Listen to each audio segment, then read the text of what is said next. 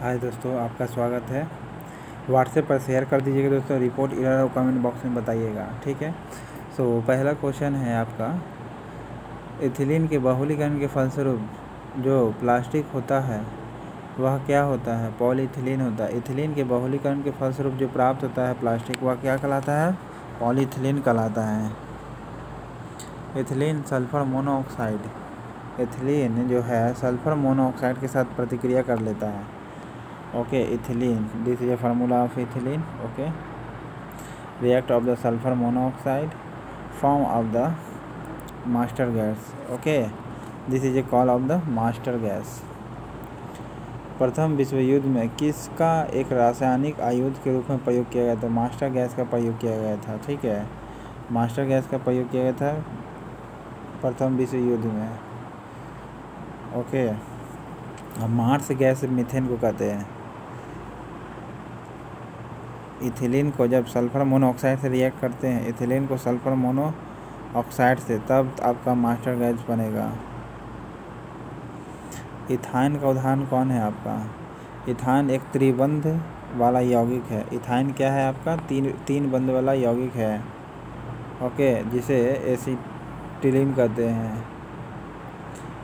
Calcium carbide पर जल की प्रतिक्रिया द्वारा कौन सी गैस निकलती है? तो एसिटिलीन निकलती है। कैल्शियम कार्बाइड पर जल की प्रतिक्रिया करेंगे तो एसिटिलीन बनेगी। कैल्शियम कार्बाइड पर जल की प्रतिक्रिया द्वारा कौन सी गैस उत्पन्न होती है? एसिटिलीन होती है। कौन होती है? एसिटिलीन होती है। कैल्शियम कार्बाइड पर जल की प्रतिक्रिया द्वारा कौन सी गैस उत्पन्न होती है? तो एसिटिलीन होती है। निम्नलिखित ईंधनों में से कौन सा एक गैस वेल्डिंग के प्रयोग से होता है?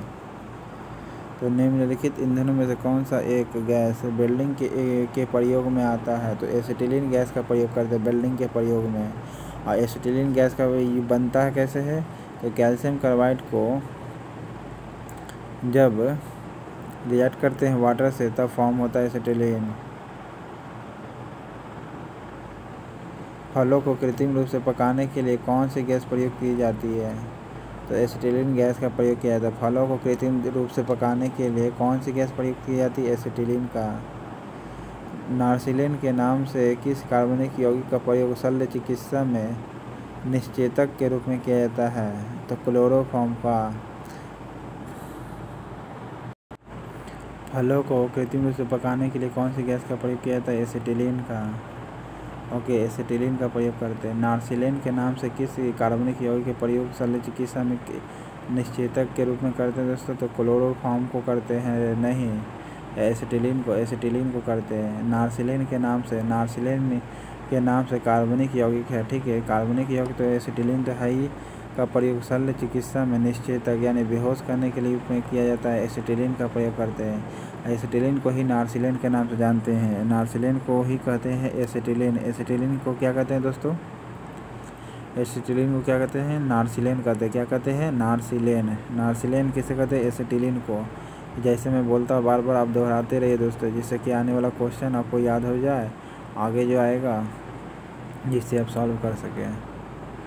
युद्ध में प्रयोग की जाने वाली विषैली गैस ल्यूसाइड बनाई जाती है किससे?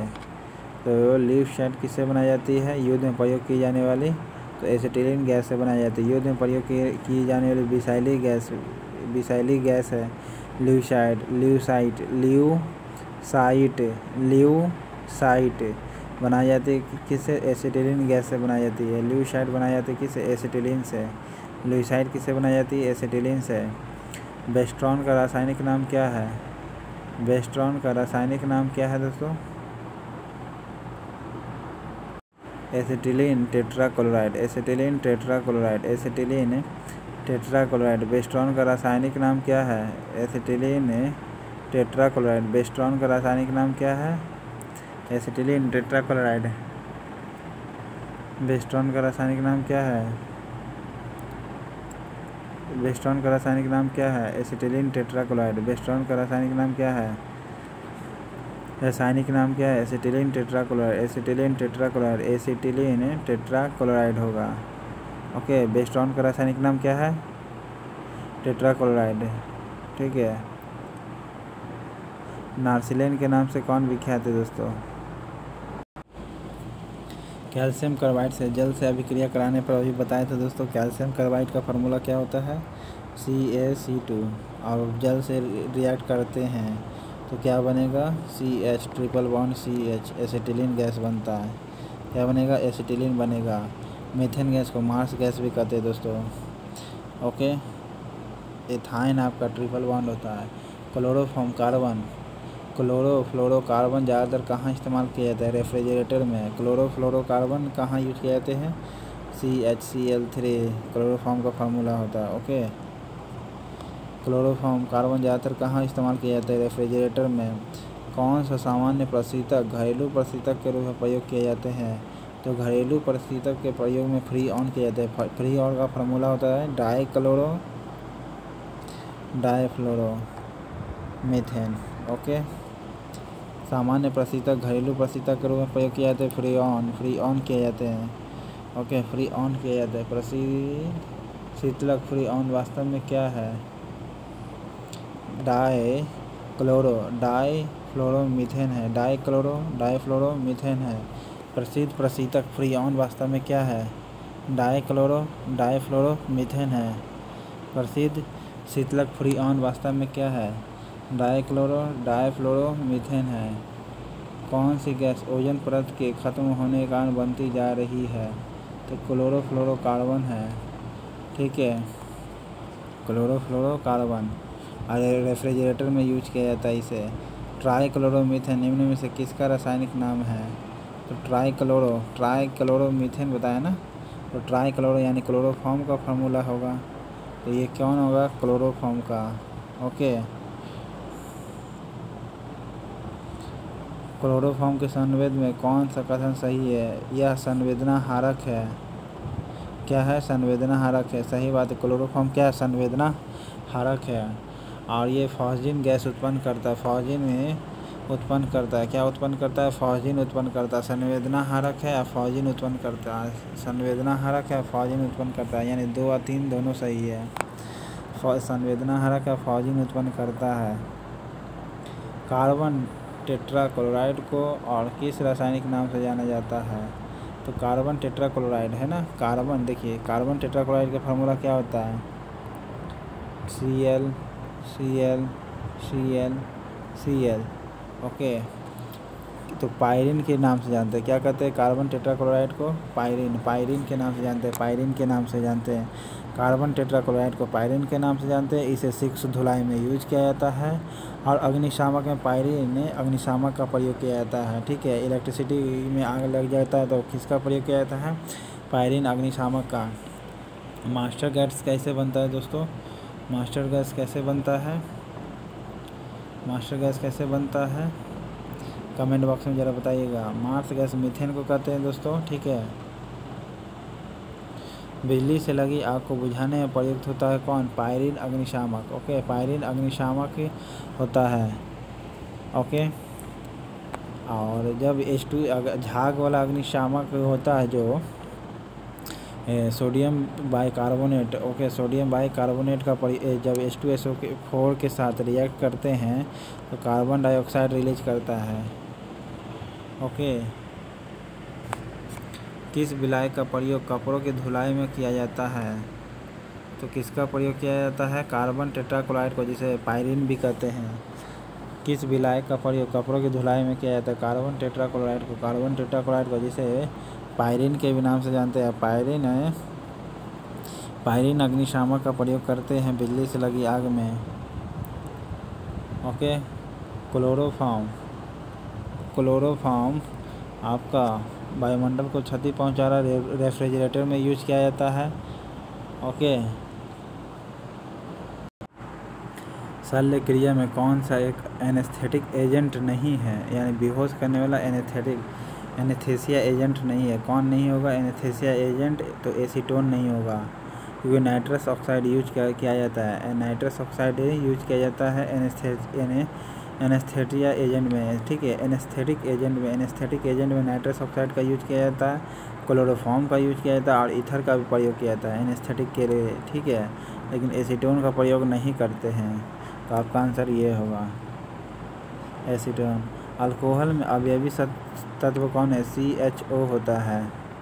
किसको? वुड स्प्रिज भी कहते हैं तो मैथिल अल्कोहल को कहते हैं। वुड स्प्रिज किसे कहते हैं? तो, तो मैथिल अल्कोहल को। वुड स्प्रिज किसे कहेंगे? मैथिल अल्कोहल का W W O D wood spirit कहेंगे ठीक है? स्प्रिट ये कहेंगे किसे? वुड मैथिल अल्कोहल को। जबकि पीने वाला अल्कोहल एथिल अल्कोहल है या इथाइल अल्कोहल मिथाइल अल्कोहल का रासायनिक सूत्र कौन होगा? C H three O O antifreeze का मिश्रण का काम कौन करता है? एंटी फ्रिज का मिसाइल का, काम कौन करता है? मिथाइल अल्कोहल और जल करता है। मिथाइल अल्कोहल जल करेगा। मिथाइल अल्कोहल जल। एंटी फ्रिज का मिश्रण एंटी फ्रिज का मिश्रण एंटी फ्रिज का मिश्रण एंटी फ्रिज का मिश्रण कौन काम क्या करेगा? Methyl alcohol methyl alcohol methyl alcohol व जल। मिथाइल अल्कोहल व जल करे, करेगा।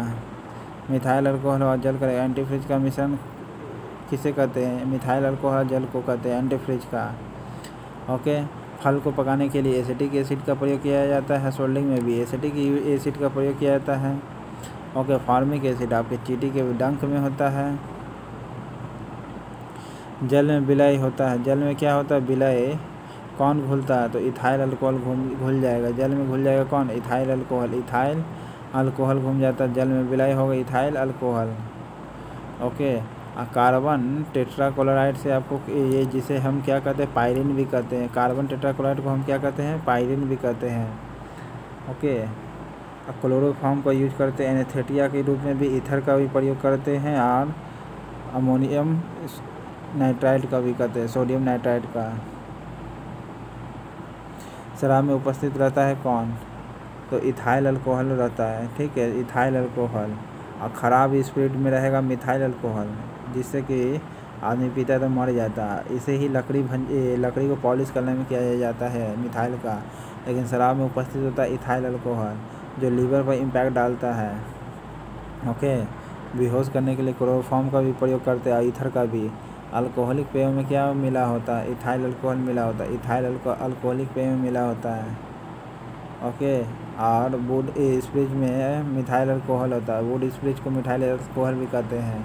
अन अल्कोहल के नाम से किसे जाना जाता है? इथाइल अल्कोहल का जाना जाता है।